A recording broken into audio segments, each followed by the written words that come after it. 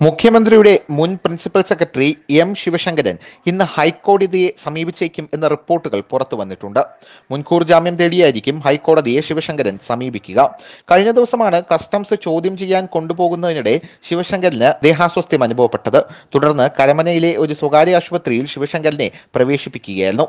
ശിവശങ്കറിനെതിരെ കൂടുതൽ കുറ്റങ്ങൾ ആരോപിച്ച് കോടതിയിൽ റിപ്പോർട്ട് നൽകാനുള്ള തയ്യാറെടുപ്പിലാണ് കസ്റ്റംസും. ശിവശങ്കറിന് ചികിത്സ തുടരണോ എന്ന് നിശ്ചയിക്കുന്ന നിർണായക മെഡിക്കൽ ബോർഡ് യോഗം ഇന്ന് വൈകിട്ട് മൂന്ന് മണിയോടെ ചേരും. നടുവിനും കഴുത്തിനും വേദനയെന്ന് പറഞ്ഞാണ് ശിവശങ്കരൻ നിലവിൽ ആശുപത്രിയിൽ തുടരുന്നത്.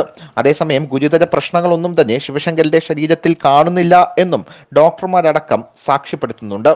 ഇതേ തുടർന്ന് വിശ്രമം നിർദ്ദേശിച്ച് ഡിസ്ചാർജ് ചെയ്തേക്കും എന്ന റിപ്പോർട്ടുകൾ പുറത്തു വരുന്നുണ്ട്. അങ്ങനെയാണെങ്കിൽ അറസ്റ്റാണ് കസ്റ്റംസിന്റെ ലക്ഷ്യം എന്നുള്ള സൂചനയുമുണ്ട്.